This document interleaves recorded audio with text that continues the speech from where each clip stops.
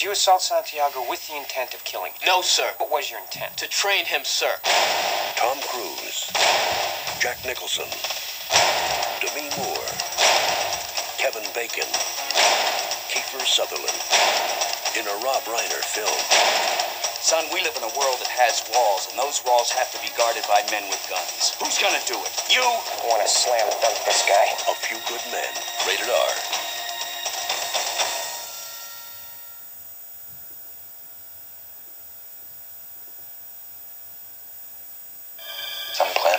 the president.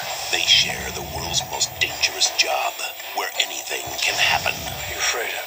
Afraid of making a big mistake. In the rush of the crowd, This guy's gonna make a try. I've gotta be there. in the blink of an eye, Do you really have the guts to take a bullet? in the heat of the moment. I think maybe you're too close to all this, Ray. Clint Eastwood, John Malkovich, Rene Russo, in the line of fire.